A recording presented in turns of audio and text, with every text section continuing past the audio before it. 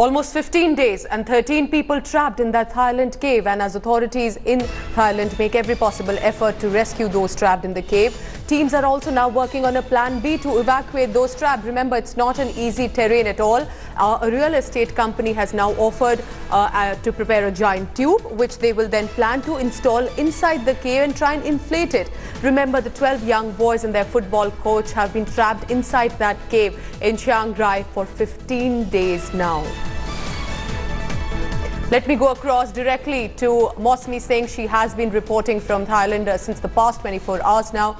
Uh, Mosmi, what precisely are the concerns right now that they have immediately pushed a plan B as well?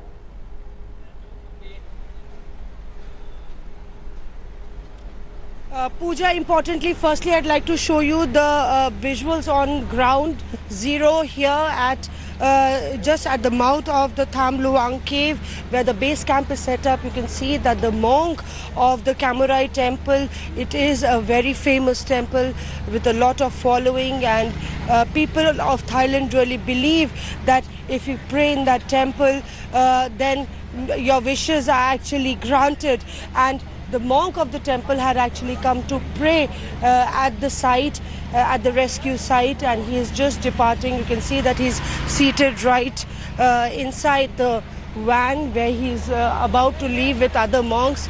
And uh, and uh, here you can see that his entire he ha- he had about 12 monks with him who also who are also leaving the site and this is the kind of solidarity that we've seen. Uh, you know, a lot of prayers being chanted, a lot of offering uh, that are being given to gods uh, to actually persuade the rain gods that they shouldn't play truant. This is the entire base camp. Remember, we had uh, shown you pictures of the base camp in the evening uh, yesterday, but in the day, this base camp you can see uh, is abuzz with activity uh, ever since this plan B has come. Uh, has been proposed and now the plan B is very crucial because remember the plan B uh, says that you could actually put in a pipe in the cave and once you put in that pipe, that's a four kilometer stretch, you break it up into 100, 100 meters, you put that pipe in, and once it's inside, you inflate it. So it becomes an artificial tunnel, and, and then you can get the children out. A pipe which would be about 5 centimeters in height and about 17 centimeters in diameter before inflation would actually reach to 30 centimeters in diameter after it is inflated and an entire man can actually enter inside the pipe. So uh, this is Uh, a personnel plan and rescue effort. Yes. it is under discussion. We are told that the thailand government is aware of it and they have got they've they have gotten the team here. So uh, still uh, the matter is under discussion. Pooja So clearly, I mean, it, 15 days on, Moshmi, what is the condition that the rescuers are telling you about, the health officials as well? And considering even monks are now coming in to pray, clearly it's a very precarious state, isn't it?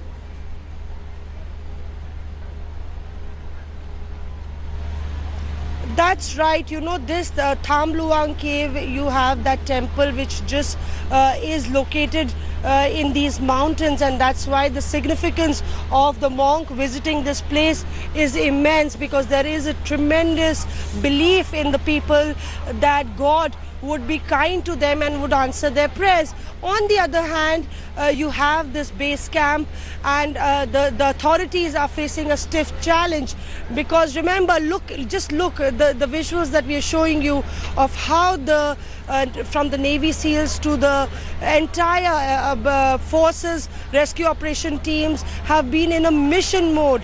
Now, that's the path that the children went uh, when they went to the cave and here you can see they have been toiling day and night it's and you can see oxygen cylinders those green cylinders that you see uh, on my right those are the oxygen cylinders this is the path that the cylinders are taken yeah you can see that those divers they're in those their uniforms just coming out uh, from the mouth of the cave so these divers have played a crucial role. They must have completed their their stretch there. There has been a um, uh, headquarters set up uh, after the mouth of the cave.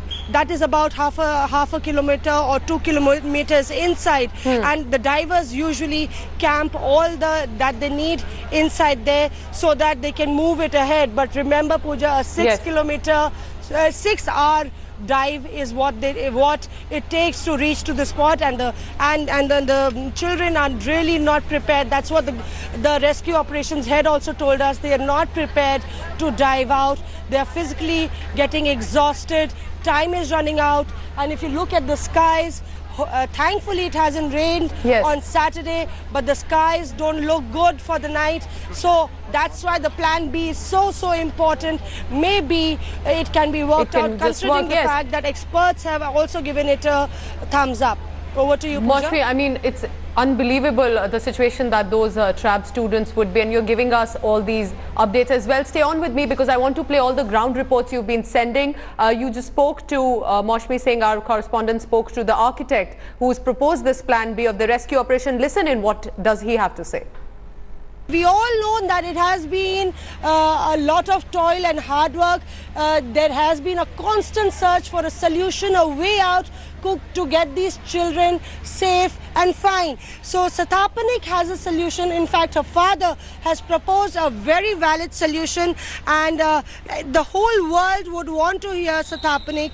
What is the solution that your father has proposed? So it's a tube inflated with air.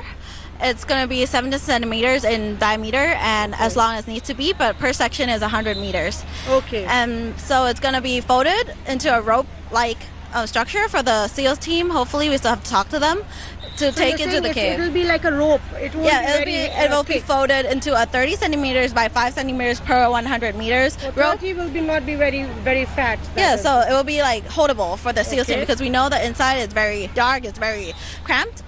And so we want to take that in. And when we get to the chambers where the kids are at and set everything up, we can inflate it with air from the outside and it will become a tunnel. It'll become a tunnel. A tunnel, uh, artificial tunnel will be created by that tube.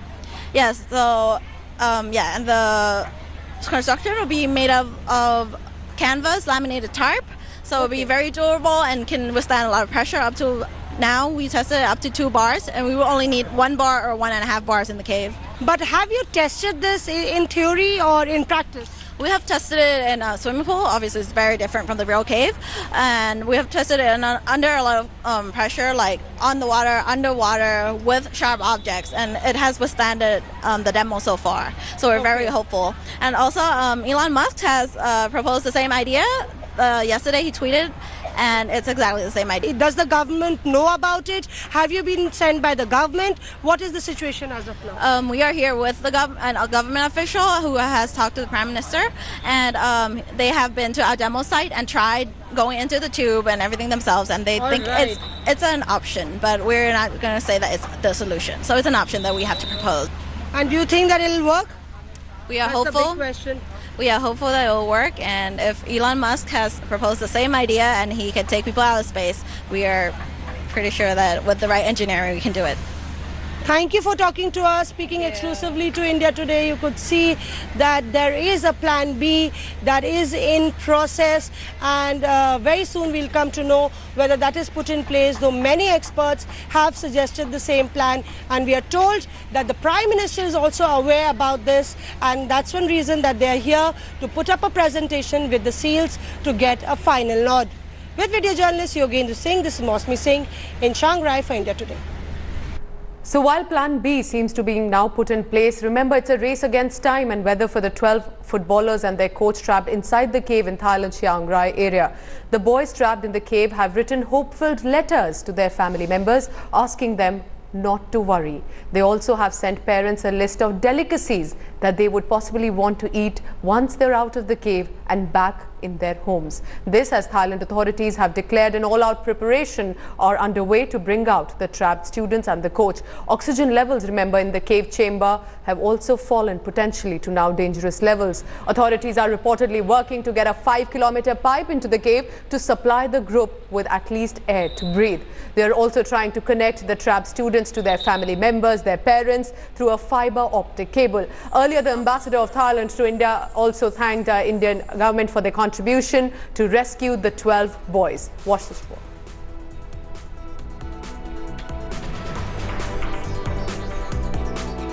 ภารกิจเราเนี่ยมิชชั่นเนี่ยเรามี 3 ภารกิจนะครับค้นหากู้ภัยแล้วก็ส่งกลับนะครับ เราทุกคนจะมีความรู้สึกว่าเเมื่อค้นเจอแล้วเนี่ยเราประสบความสำเร็จจริงๆแล้วไม่ใช่ที่เข้ามา นะครับ ก็จะบอกว่าสถานการณ์ของตัวเองเนี่ยศักยภาพของตัวเองมีแค่โถงสามเลยกว่าโถงสามไปไม่ได้นะครับสถานการณ์ของเราเนี่ยมันไม่เคยในโลกนี้ไม่เคยมีการยากอย่างนี้ในการกู้ภัย 我们下一步的策略的话，呃，会有一些改变。就是原先我们计划在循序渐进的去让各项准备工作做好了，才把孩子接出来。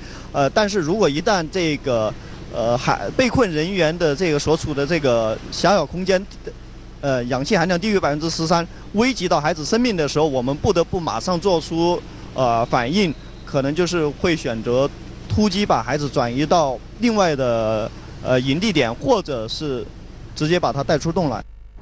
Let me now go across to Mosmi Singh. She's uh, constantly giving us reports very close to that location. Mosmi, just first quickly take us through how precisely the students and the coach had landed into this cave in the first place. And now at present, why is the rescue so difficult? Just to give an idea of why has it taken so long?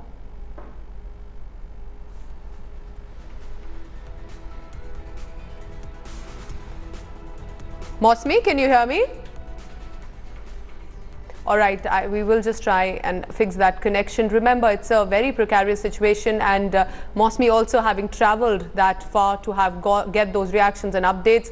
And uh, literally, the whole world is watching and praying, and not only the monks there in Thailand, but of course, uh, even even the ones watching it over news are only hopeful and pray, praying that the students will be able to leave that cave as soon as possible. Now, in fact, let's just take you through why is it so difficult really for the rescue teams to take the 12 boys and their football coach out of the cave where they have been trapped since 15 days now. Okay, so why is the rescue so tough? Now, Tham Luang Nang non cave stretches under the mountainside for 10 kilometer water levels, uh, and water levels in that cave sometimes rise up to even 15 centimeters per hour. Storms can raise water levels again probably and even hit the supplies. Now evacuation in some areas of the cave cannot be pumped uh, and that dry string of narrow tight passageways. Remember the terrain is rocky, it's a muddy ground and there are multiple challenges specifically with regard to elevations. Now boys roughly uh, with regard to at least two kilometers into the cave, one kilometer below surface. So it is definitely a very difficult terrain and as Mosmi also was telling about six hours of even dive to be able to head back to land.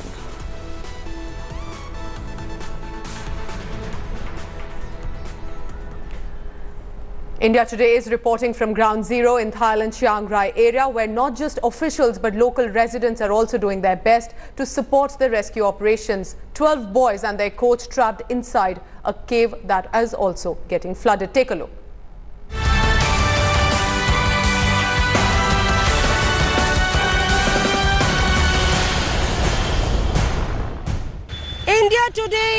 Getting you the biggest coverage of one of the biggest rescue operations that is underway in the world.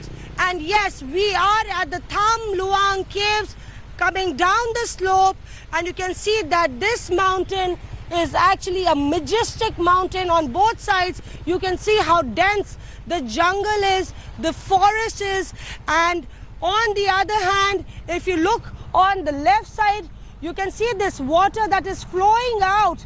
This water is the water that is being pumped out from the very cave. And we're uh, getting you these latest pictures of what's the action that's going on. We are joined by Noi, who is actually a volunteer, and this is a free taxi service, or we can say a scooter service, which Noi is giving to help people. Right, Noi? Ni hao. สวัสดีครับ Ni kap. So, uh, what is this free taxi service for? Um, for help some a little thing for for the children. children. Yes. Hmm. So all day is this taxi service all day? Yes, all all day. If I have so uh, many time, I come here. Many times. Okay. Yeah. Oh, for how many days you have been coming here? Children have been stuck for a long time. Um, when I my, my holiday or my day off, I come here. He comes here. Yes. And that's the kind of sympathy, that's the kind of emotional connect that the people of Thailand actually feel with these children, and which is uh, a, a historic uh, moment that we are witnessing. Everybody has only prayers for the children that they'll be out safe soon. And you can see that this entire fleet of free taxi service here. They have been toiling and doing a great job helping people, helping the media. Uh, thank you, thank you. So that's how these people are making a difference in their own way. These are those men who get a smile uh, on the faces of all those who are toiling uh, uh, throughout the day. Thank you very much. Thank you very much. India Today says a big thank you to you. And India Today is also grateful for people like this who have a big heart and are making a difference. With video journalist Yogendra Singh, this is Mosmi Singh in Chiang Rai, Misai for India Today. It's been over 300 hours and 12 innocents are still trapped inside the Tham Luang cave in Thailand. Rescue operations continue, so let's take a look at what precisely has been happening since the past few days there.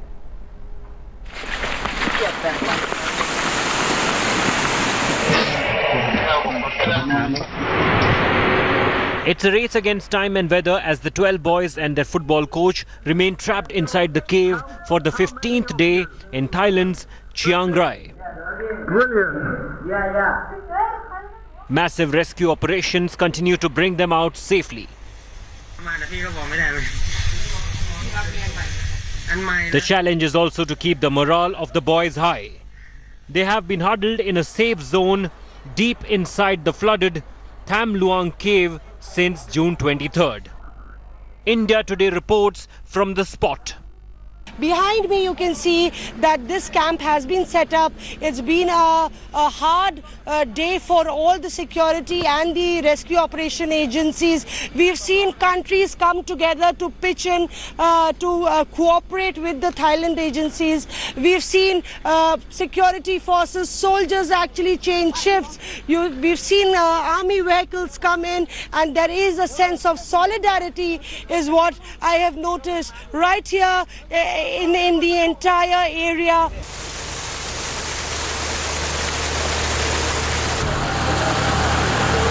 Rescuers from across the world have joined the Thais in the effort to bring the 13 out. And on Thursday, the operations took a tragic turn after a former Navy SEAL who had volunteered died due to suffocation in the cave. 38 year old Saman Gunan lost his life while exiting the cave. Efforts by his teammates to revive him failed. Saman was a runner and had completed his training from Special Attack Diving School. These exclusive pictures is what you can see. You can see that full state honors are being given. Uh, the governor was also present, and the entire um, armed forces here giving the state honors. That's the plane where that is carrying his mortal remains. And even as his mortal remains are being carried, uh, uh, there are people who are even watching from outside the stand, and that's the kind of sacrifice, supreme sacrifice, that this Navy SEAL did actually offer to save the children. His death also raised doubts on whether it was safe to bring the boys out through flooded passageways inside the cave. Authorities are also concerned about falling oxygen levels inside the tunnel. We try to set a plan. Uh, we try to set a plan that the best plan if uh, we can bring them out and uh, uh, the risk is minimum. Maybe we try because we afraid of uh, the, the the weather. The clock is ticking. Friends and family of those trapped are waiting with a prayer on their lips, hoping that the ordeal ends soon for the boys. With Mosumi Singh in Chiang Rai, Thailand, Bureau Report, India Today. In fact, India Today will continue to bring you all the updates from Thailand. You can log on to indiatoday.in for further stories as well. Thank you for watching. Stay tuned. Special weekend features coming up. Thanks for watching the video.